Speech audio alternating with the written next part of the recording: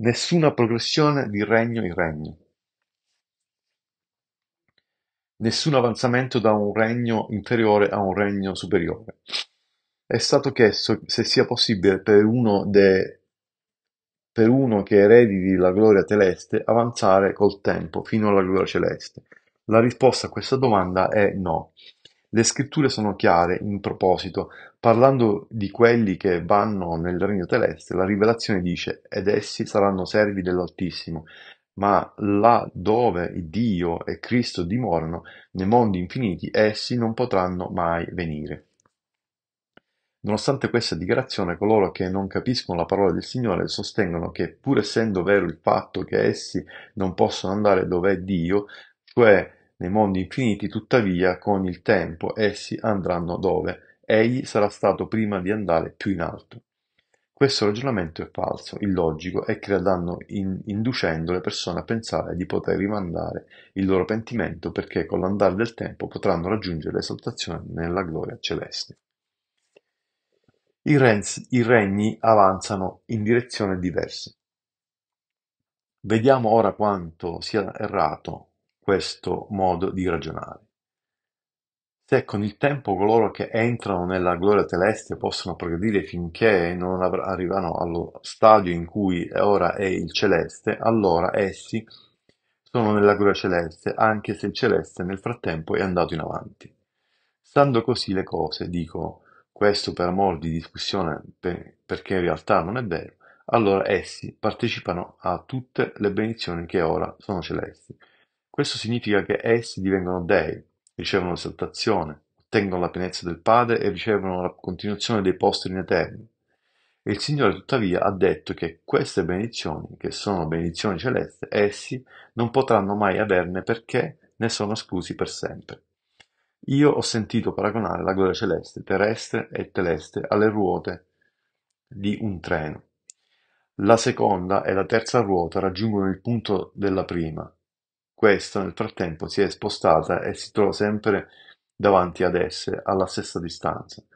Questo esempio non è calzante.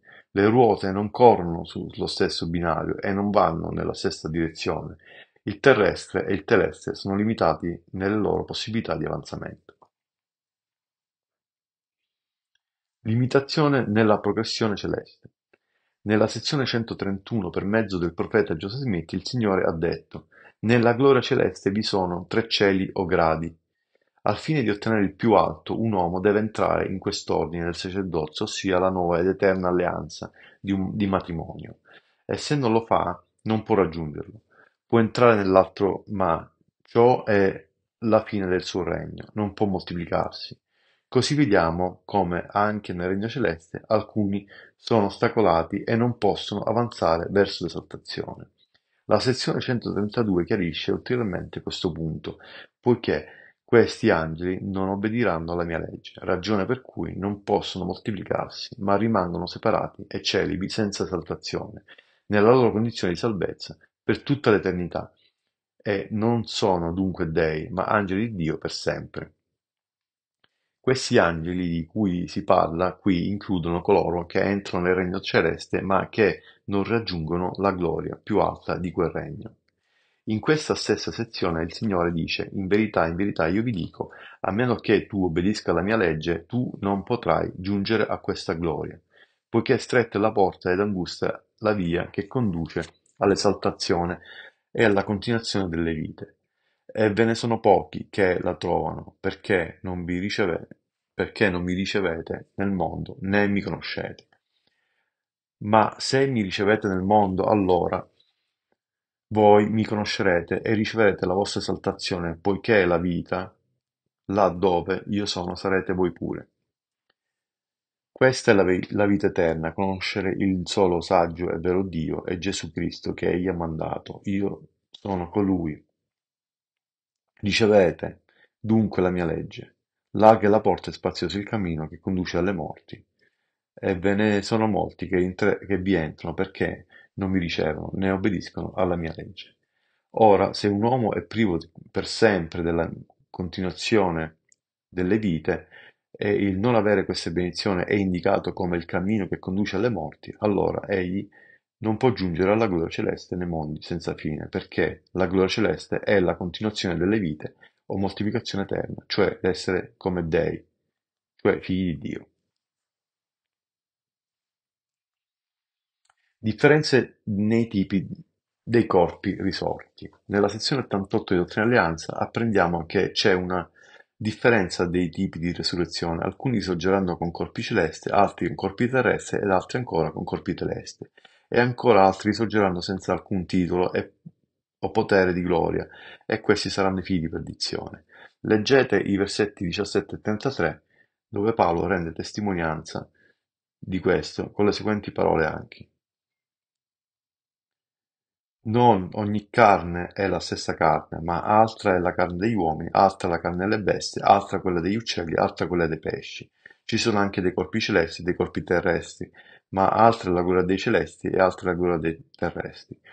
Così pure della risurrezione dei morti.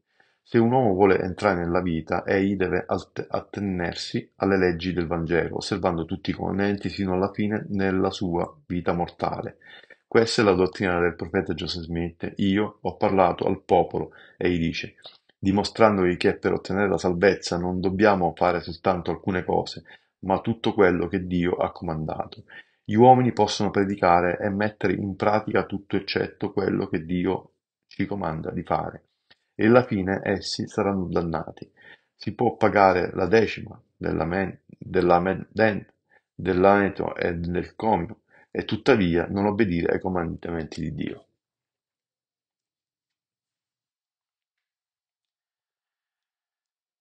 Capitolo 3 L'esaltazione Coeredi di Gesù Cristo L'esaltazione Divenire come Dio A coloro che nel regno celeste riceveranno l'esaltazione è promessa la pienezza, Tutte le cose appartengono loro, sia la vita, sia la morte, cose presenti e cose a venire.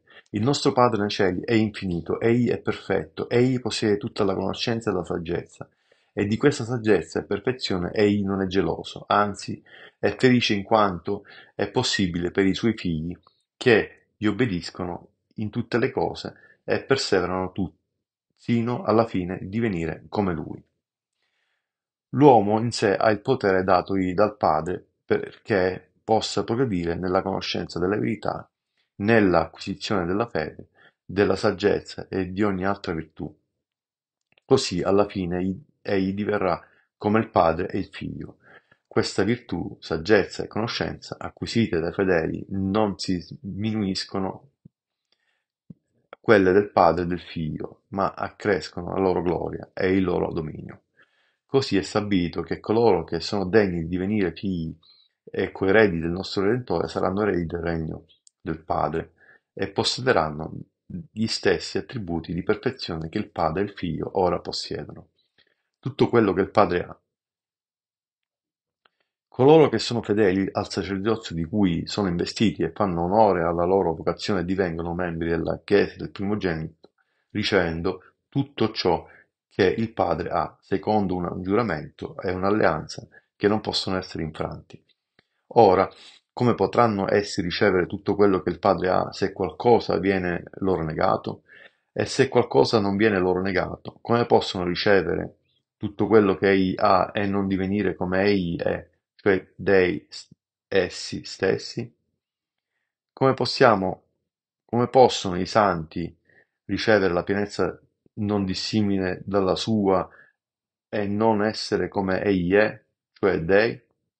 Il Padre ha promesso per mezzo del Figlio che tutto quello che egli possiede sarà dato a coloro che osservano i comandamenti. Essi avanzeranno in conoscenza, saggezza e potere, passando di grazia in grazia, finché la pienezza del giorno perfetto si aprirà davanti a loro.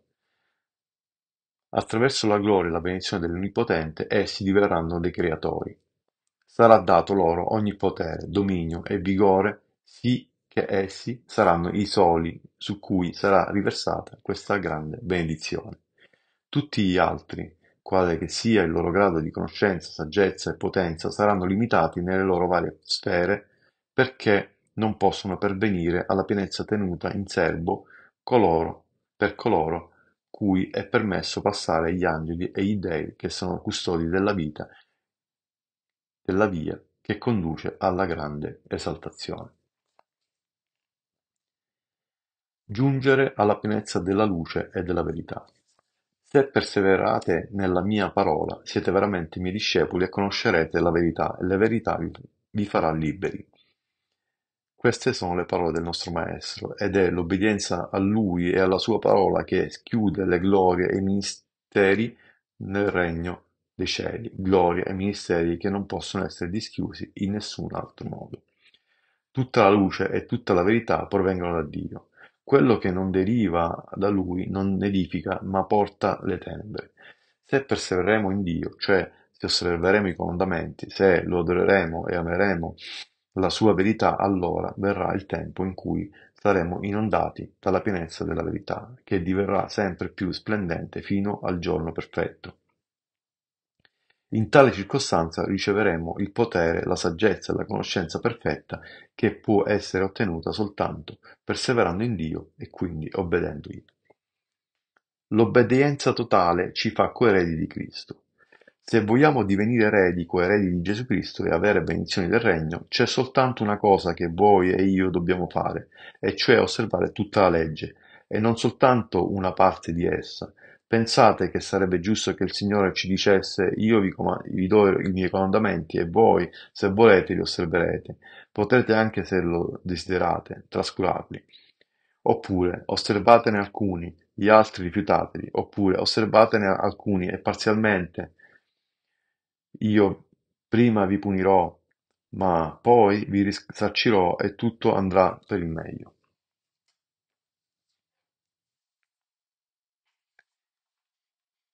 Figli di Dio. I fedeli divengono figli e figlie di Dio. Il destino dell'uomo fedele di questa Chiesa, nonché della donna fedele, è di diventare un figlio e una figlia di Dio. Questo è il grande dono che il Signore offre ai membri della Chiesa.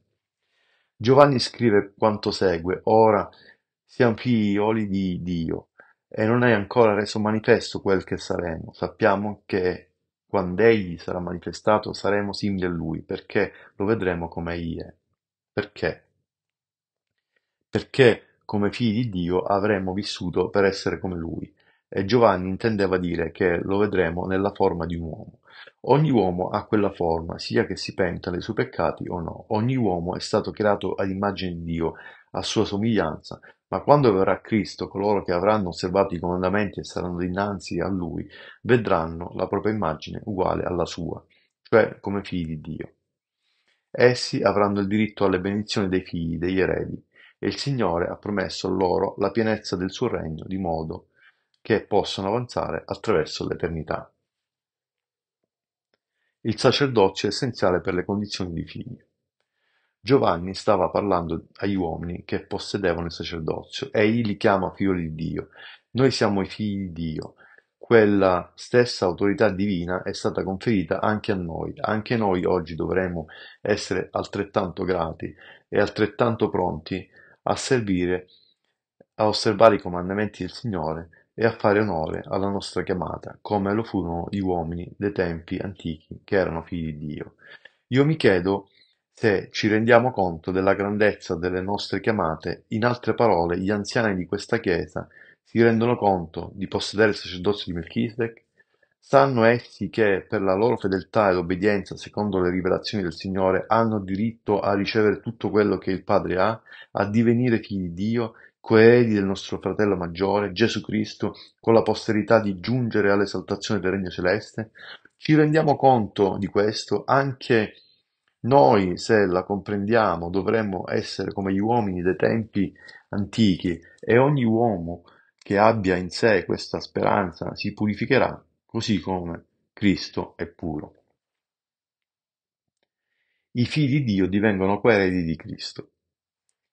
Molte volte penso a, a quel passo delle scritture in cui si legge che a coloro che servono i comandamenti del Signore e saranno fedeli fino alla fine, sarà dato tutto quello che il Padre ha.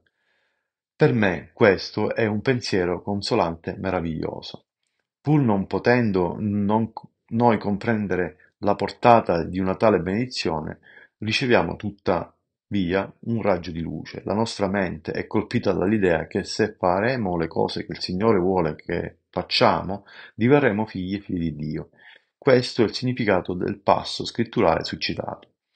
Come figli e figlie quindi noi saremmo eredi del suo regno e avremmo diritto alla pienezza della gloria e alle grandi benedizioni e privilegi che il Signore nella sua misericordia ci ha rivelato nella dispensazione della pienezza dei tempi, poiché tutti quelli che sono condotti allo Spirito di Dio, scrive Paolo, sono figlioli di Dio. Lo Spirito stesso attesta insieme col nostro Spirito che siamo figli di Dio e se siamo figlioli siamo anche eredi, eredi di Dio e coeredi di Cristo, se pur soffriamo con Lui affinché siamo anche glorificati con Lui.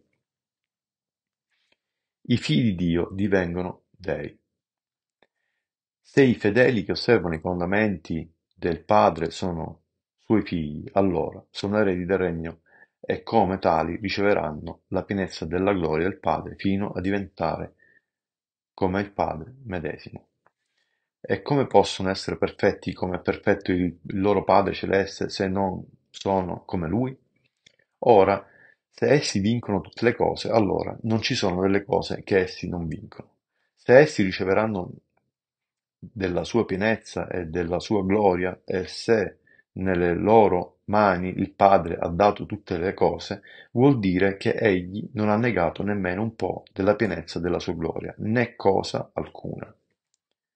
E se essi ricevono la sua pienezza e la sua gloria, e se tutte le cose appartengono loro, sia la vita sia la morte, cose presenti o cose a venire, tutte sono loro. Come possono essi ricevere queste benedizioni e non divenire dei? Non è possibile. L'obbedienza completa porta alla condizione di figli. Come faremo a divenire figli e figlie di Dio? Possiamo divenire figli ed eredi del nostro Padre Eterno semplicemente battezzandoci per la remissione dei peccati dopo esserci pentiti e aver avuto fede e dopo che ci sono state imposte le mani per il dono dello Spirito Santo ed essere entrati nella Chiesa? No, ci vuole più di questo. Naturalmente essi sono figli del nostro Padre nei cieli, così come lo sono il resto le persone della, che della Chiesa non fanno parte, ma per divenire figli e figli di Dio, cioè eredi, eredi di Dio e coeredi di Cristo, dobbiamo soffrire con Lui, affinché possiamo essere glorificati con Lui. In altre parole, nel nostro cuore dobbiamo accogliere ogni principio del Vangelo che è stato rivelato vivere secondo tali principi e osservare completamente i comandamenti di Dio. Le, la dotazione e il suggellamento precedono la condizione di figli.